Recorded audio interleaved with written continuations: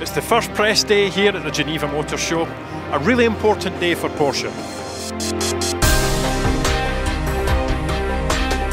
A huge focus across the stand on Porsche intelligent performance, using hybrid technology in both race cars and road cars, old and new. At 7.30 this morning, we witnessed the world premiere of the new Panamera S Hybrid. Very shortly after that, we were lucky enough to chat to Dr. Steiner, who is responsible at Porsche for Project Panamera.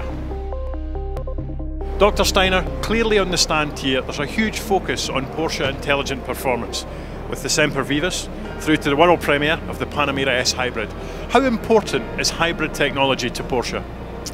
We take it very serious. Hybrid technology uh, is very important and it's a strategic move. Uh, we saw already hybrid technology in motorsports and uh, we brought last year the Cayenne S Hybrid and now the Panamera S Hybrid. We think it's a good technology to improve on the one hand fuel economy and to provide on the other hand uh, motorsport boosting power uh, from the electric engine. And how do you create that marriage between the combustion engine and the electric motors? Well, there are several uh, steps we took.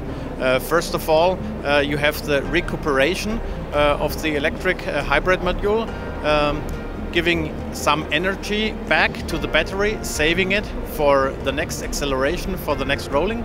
Then um, we have uh, special tires on the Panamera S Hybrid uh, providing lower rolling resistance and then also very important and unique with the Porsche uh, hybrid technology uh, the capability of so-called sailing. We call it sailing. Uh, we shut down the engine uh, with speeds up to 165 kms.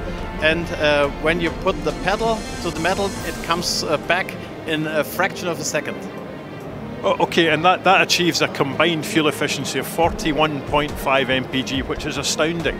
Um, what, what is the future of hydride technology for Porsche then? Where does it go from here? Well, we will uh, improve uh, the technology. Uh, one big uh, improvement uh, will come from battery technology. We uh, have here nickel metal hy hybrid battery technology and with lithium ion technology the capacity of the battery will grow. Uh, the next uh, step will be in some years uh, to have a plug-in hybrid uh, technology means you can reload um, not only from braking and from using the combustion engine but reload uh, at your home socket. Oh well, all, all, sounds very exciting. We look forward to seeing that uh, and indeed look forward to driving this car. Dr. Steiner, thanks very much for joining us. Yeah, thank you.